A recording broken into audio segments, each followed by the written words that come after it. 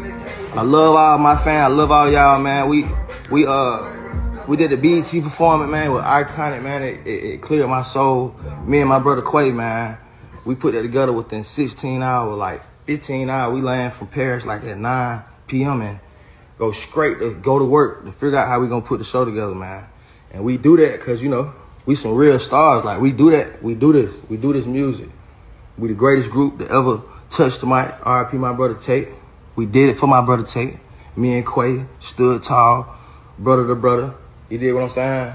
And I appreciate everybody for supporting, man. It was a movie, it was a vibe. We needed that for the culture. And yeah, that's how we come in. We did that in 16 hours though, like real professionals. Real professionals. Went out there 16 hours, didn't sleep, locked in on the visual. Me and Quay sat down, locked in on the visuals, locked in on the position of the stage, the lighting, everything as a unit. And you know, when you put the three heads together, it's always gonna be cinematic. You know what I'm saying? It's always gonna be the truth. It's always gonna be godly, man. And thank God for that moment. And like I said, RP to Take. Y'all know how we come about my brother. And we did it for Take.